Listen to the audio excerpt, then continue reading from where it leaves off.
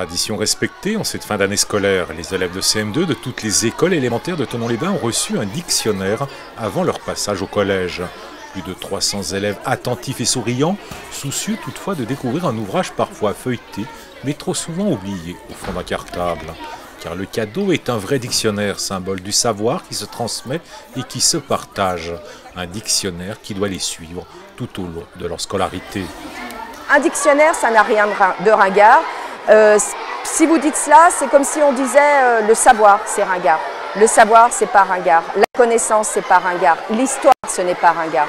C'est euh, tout ce que fait notre école. Et donc, c'est important de transmettre tout ça. Au bout des doigts, plus de 2 kilos de savoir littéraire pour 32 000 mots, parfois 65 000 selon les éditions, voire 120 000 mots actifs pour le littré parmi lesquels 20 000 mots d'origine savante ou étrangère et 12 000 d'origine populaire française au service de la liberté d'expression, des émotions et du dialogue. Pour nous, les dictionnaires, euh, c'est vraiment indispensable.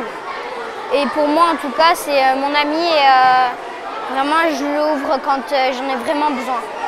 C'est très utile, un dictionnaire, car c'est pareil, c'est pas ringard,